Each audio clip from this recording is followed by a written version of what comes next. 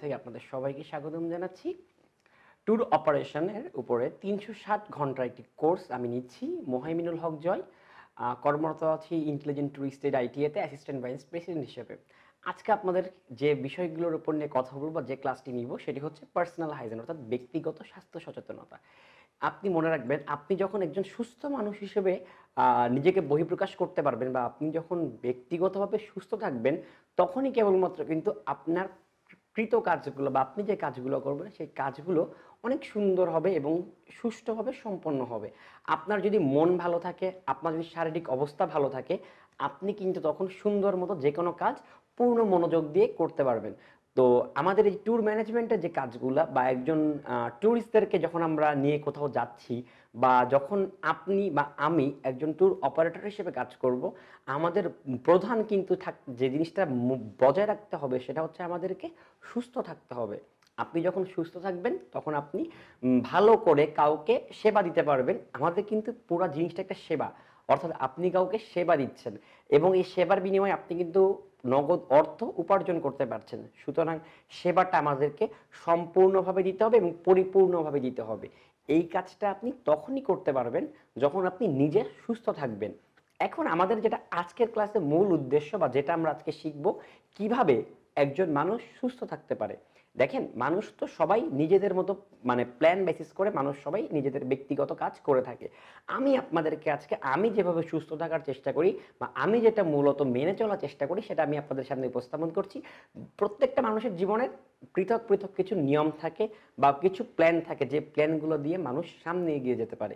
সুতরাং আমি আশা করব আমি এখানে আমি এখানে আপনাদেরকে যে প্ল্যানগুলো দেখাবো, সেইগুলাই যে সর্বশেষ বা একদম পুরো বলতে গেলে এটাই একদম সঠিক, সেটা আমি বলছি না। তবে আপনারা চাইলে এটা ফলো করতে পারেন বা নিজের সুস্থ থাকার জন্য, নিজের জন্য যেটা ভালো হয়, আপনার নিজেকে মনে রাখবেন, এখানে একটা টার্ম খুবই গুরুত্বপূর্ণ। এই হাইজেনের ক্ষেত্রে সেটা হচ্ছে নিজে। আপনি নিজে, অর্থাৎ মাইসেলফ আপনি নিজে কীভাবে ভালো থাকবেন, সেটা সেই নিয়ম কিন্তু আপনি নিজে তৈরি করবেন, আমি না, আমি আমারটা দিতে পারি সর্বোচ্চ। আসেন। Hygiene habits essential for a good health অর্থাৎ সুস্থ থাকার জন্য বা একটা সুস্থ স্বাস্থ্যের জন্য, সুস্বাস্থ্যের জন্য কি কি জিনিসগুলো মূলত মেনে থাকা, মেনে চলা উচিত? বাট এভরিডে প্রতিদিন গোসল করতে হবে আপনাকে brush and floss your teeth আপনাকে দাঁত মাজতে হবে আমরা কিন্তু এই কাজটা অনেকেই পরিপূর্ণভাবে করি না এবং আমরা যখন পথে, ঘাটে চলাচল করি বা যখন বাসে উঠি বা যখন লোকাল ট্রান্সপোর্টগুলো ব্যবহার করি, আমরা কিন্তু বুঝতে পারি যে একজন মানুষ যদি নিজে পরিষ্কার থাকতে না পারে, সে পাশের মানুষের জন্য কতটা বিব্রতকর অবস্থা তৈরি করতে পারে। ট্রিম ইউর নেলস প্রতিদিন নখ কাটতে হবে। আপনি খুবই সুস্বাস্থ্যের অধিকারী বাট আপনি আপনার নখ ঠিক মতো পরিষ্কার করেন না বা নখ কাটেন না। সেক্ষেত্রে কিন্তু জীবাণু কিন্তু নখের মাধ্যমে আপনার শরীরের ভিতরে প্রবেশ করতে পারে, যা কিন্তু একজন সুস্বাস্থ্যের অধিকারী মানুষ হিসেবে আপনাকে প্রকাশ করতে বাধা প্রদান করবে। ওয়াশ হ্যান্ডস প্রতিদিন আমরা লাইফ বয়ের অ্যাড দেখে থাকি বা বিভিন্ন কোম্পানির অ্যাড দেখে থাকি যে পাঁচবার খাবার আগে প্রতিদিন হাত পরিষ্কার করতে হবে। এটা খুবই গুরুত্বপূর্ণ একটা জিনিস, যদি আপনি সুস্বাস্থ্যের অধিকারী হতে চান, আপনি যখনই খাবেন বা যখনই কোনো কাজ করবেন, তার আগে আপনি আপনার হাত দুটি ন্যূনতমভাবে পরিষ্কার করে নেবেন।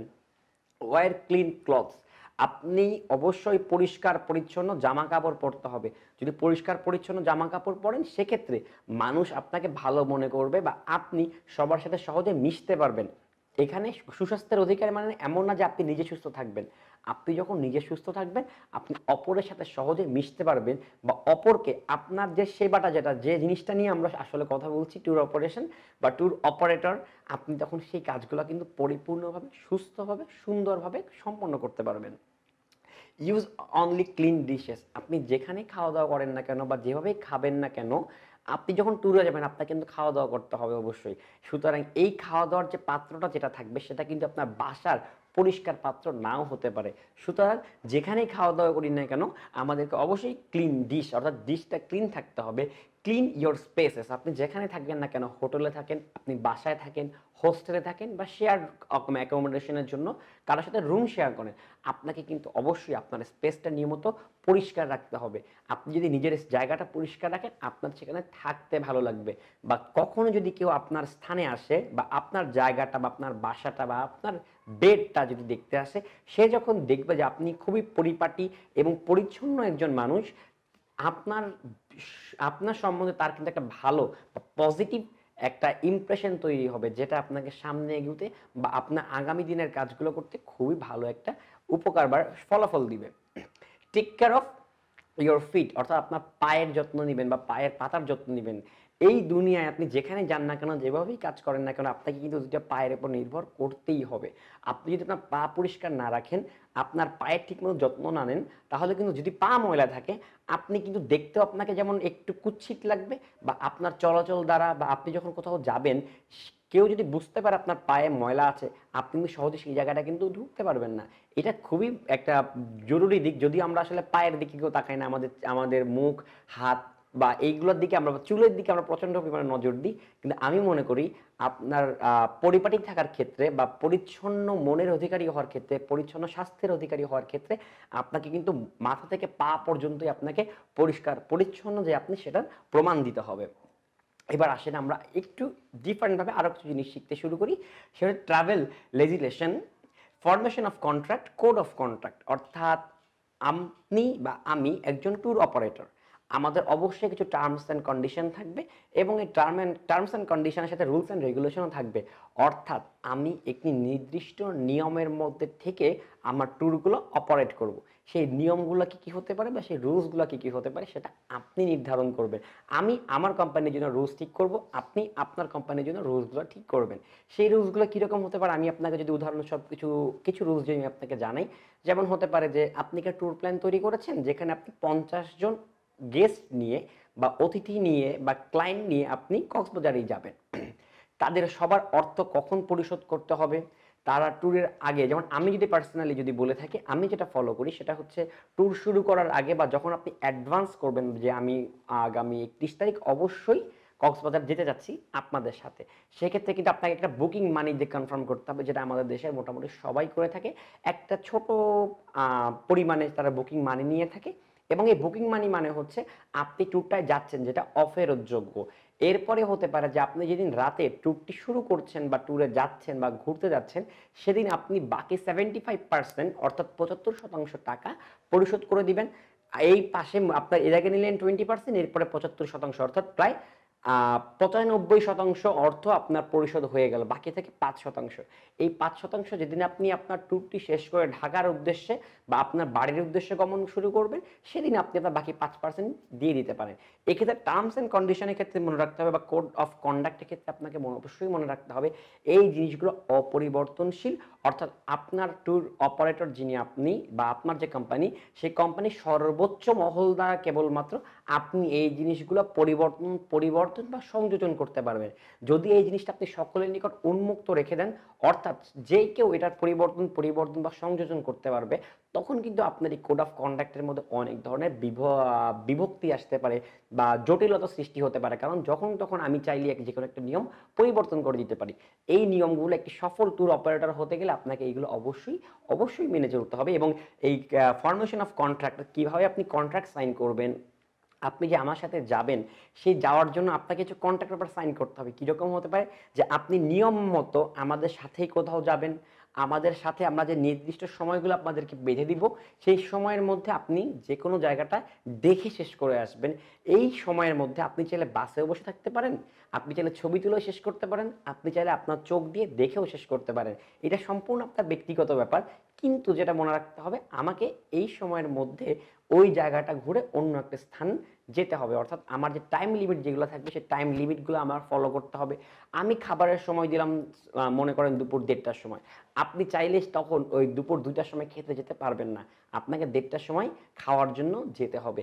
এই যে কিছু রুলস আছে বা কিছু টার্মস আছে বা কিছু কন্ডিশন আছে, এই কন্ডিশনগুলো যদি আপনি ট্যুরের শুরুতে অর্থাৎ যখন কন্ট্রাক্ট সাইন করবেন বা আপনি আমার সাথে যাবেন, এটা যখন আপনি সাইন করে বলে দিচ্ছেন, আপনাকে এই জিনিসগুলো অবশ্যই মেনে নিয়েই কিন্তু আমার সাথে যেতে হবে। এই জিনিসগুলো যদি একজন ট্যুর অপারেটর হিসেবে আমি যদি প্রথম দিকে আমার ক্লায়েন্টদেরকে জানিয়ে দিতে পারি, সেক্ষেত্রে ট্যুরটা অনেক সুন্দর এবং সফল হওয়াটা মানে খুব সুন্দর, সহজে সফল হয়। কারণ আমাদের মধ্যে কোনো যোগাযোগের কোনো ব্যারিয়ার্স অর্থাৎ কোনো কমিউনিকেশন গ্যাপ নেই। যেহেতু কোনো কমিউনিকেশন গ্যাপ নেই, সুতরাং আমিও জানি কখন কই যাব, কীভাবে যাব, কই থাকব, কখন খাব, আপনিও জেনে থাকবেন যে আমার কখন কি প্ল্যান আছে। সুতরাং এই দুইটা জিনিস যদি আপনি এই ফরমেশন অফ কন্ট্রাক্ট এবং কোড অফ কন্ডাক্ট যদি আপনি ঠিক মতো মেনে চলতে পারেন, তাহলে আমাদের জন্য বা আমরা যারা ট্যুর অপারেট করি বা আপনি একজন ট্যুরিস্ট হিসেবে আমাদের সাথে যখন যাবেন, আমাদের দুটো পক্ষের জন্য কাজ করা তখন অনেক সহজ হয়। এরপর আসেন caring for customers providing quality service giving a little bit extra আমরা আসলে সবাই একটু বোনাস পেতে পছন্দ করি বা একটু অতিরিক্ত পেতে পছন্দ করি। যখন আমরা কোনো রাইড শেয়ারিং অ্যাপসগুলো ব্যবহার করি, যখন আমাদেরকে কোনো একটু ছোট্ট করে একটা ডিসকাউন্টের কোড দিয়ে দেয়, আমরা তখন অনেক খুশি হয়ে যাই যে হ্যাঁ আজকে একটু ভাড়াটা কম পড়বে। ঠিক একইভাবে আপনি যখন কাউকে নিয়ে ঘুরতে যাচ্ছেন, আপনি যদি তাকে তিন বেলা আপনার তাকে মাছ বা মাংস দেওয়ার কথা, আপনি তাকে কিছু, কোনো একটা বেলা একটা কিছু এক্সট্রা কিছু যদি আপনি দেন, সে কিন্তু অবশ্যই অনেক খুশি হবে। কেন খুশি হবে? কারণ সে যেটা প্রত্যাশা করেনি, যেটা আশা করেনি আপনি, তাকে সেরকম করে সার্ভিস দিচ্ছেন। এবং মনে রাখবেন, এই ট্যুরিজম সেক্টরটা বা যারা ট্যুর অপারেটর হিসেবে কাজ করে, আমরা পুরাটা আসলে সেবা দিই মানুষদেরকে। এই সেবাটা আপনি কত ভালো মতো দিতে পারবেন, আমি আপনার সাথে কন্ট্যাক্ট করে গেলাম যে আমি আপনাকে নিয়ে তিনটা স্পট ঘুরবো। আমি আপনাকে তিনটে স্পট যদি ঘুরিয়ে নিয়ে আসি, আপনি কিন্তু খুশি হবেন, আপনার সেখানে কোনো বলার কিছু থাকবে না। বাট আমি যদি আপনাকে এক্সট্রা হিসেবে আরও একটি স্পট ঘুরিয়ে আনতে পারি, আপনি কিন্তু আমার প্রতি অনেক বেশি পরিমাণ কৃতজ্ঞ থাকবেন এবং ট্যুরটি বা এই যে আমি যে প্ল্যানটি আপনাদেরকে দিচ্ছি প্ল্যানটি আপনারা উপভোগ করবেন। সেই উপভোগ্য করার জন্য কিছু পরিমাণ এক্সট্রা দিলে সবাই অনেক পছন্দ করে। আর সবসময় যে এক্সট্রা দিতে হবে সেটা কোনো কথা না। আপনি আপনার ব্যবহার চালচলন, কথাবার্তা এবং সার্ভিসের মাধ্যমে কিন্তু আপনি তাদেরকে খুশি করতে পারেন।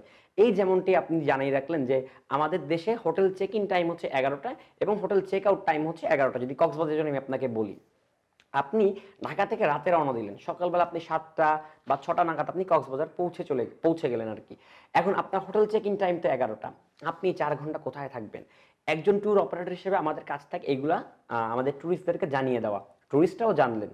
কিন্তু যদি তাদের সাথে একটা ফ্যামিলি থাকে বা ছোট কোনো বাচ্চা থাকে, আপনি তো তখন একজন র্যান্ডাম স্টুডেন্টকে যেভাবে আপনারা বলতে পারবেন যে আপনি হোটেলের লবিতে ব্যাগটা রেখে আপনি আমাদের সাথে নাস্তা করে আসেন। বাট আপনি যদি একটা ফ্যামিলি নিয়ে যান, আপনি তো সেখানে কথাটা বলতে পারবেন না।